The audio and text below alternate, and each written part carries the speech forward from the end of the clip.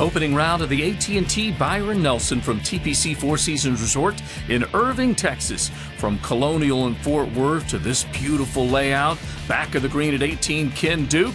Working the back nine first and working it to a three under start. A hole out from off the green, and Ken Duke quickly moves to three under par. Nice start. Want to load up if you can in the opening round. Brooks Koepka looking for eagle at seven. On and two, a par 70 layout, just a couple of par fives, and Koepka able to pick up two shots on the field with a nice eagle. Jordan Spieth playing in his hometown of Dallas. Tough stance, this at the 10th, his second. And Jordan Spieth nearly holes that out. A tap in birdie from 116 yards away. He would birdie to get to two under.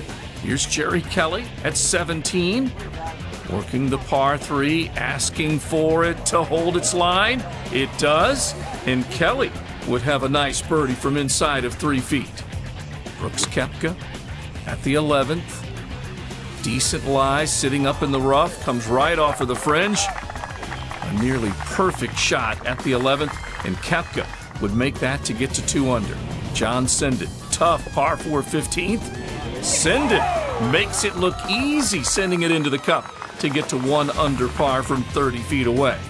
Ricky Barnes, back of the green at 18, over par at this point, but getting well with this shot. A hole out to trim one off of his total, and Ricky Barnes gets it back to one over par with that nice shot.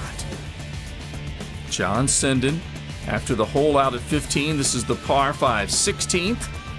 From 50 yards away, leaves it three feet from the flag, and that would take him to two under par. Back to Ken Duke after the hole out to finish his outward nine. This is the ninth, his final hole of the day, and why not? Duke holes it out again, and that would take him back to that three under total after a couple of bogeys landed on the card. So Duke pointing to the skies with that opening 67. Cameron Percy, three under as he comes to the ninth, 22 feet. And Percy getting to four under par, so climbing onto the first page of the leaderboard. Here's Keegan Bradley, two under as he comes to 11.